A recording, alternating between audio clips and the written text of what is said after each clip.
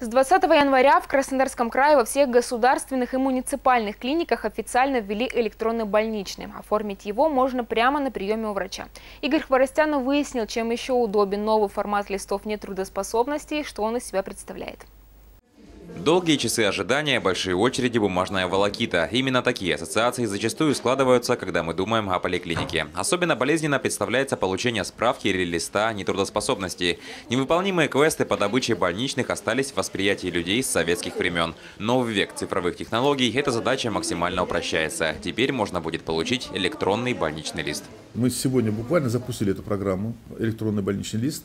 Э, врачи уже все знают, зам по экспертизе на в курсе.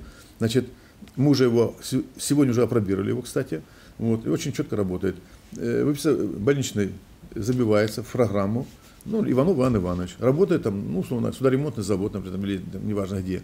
Вот. И он уходит, его закрываем, он уходит на предприятие, э, краевой фонд, и у нас остается.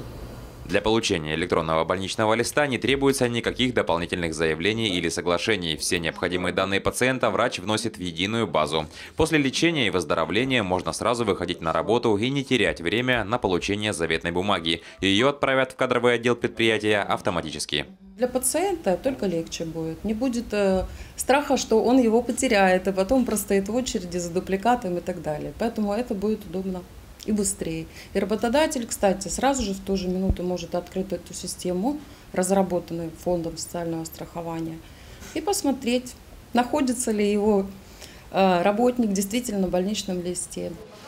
Для работы системы электронных больничных предприятия должны быть снабжены необходимым программным обеспечением от Фонда социального страхования РФ. Пока что доступ к системе есть не у всех работодателей. Нововведение будет постепенно вводиться во все отделы кадров Краснодарского края. При этом у пациента останется право выбора – электронный или бумажный больничный лист. Привычно стоять в очереди или довериться современным технологиям каждый решает сам. Игорь Хворостянов, Алексей Исаев, Аркадий Коваленко, телеканал «Орленок ТВ».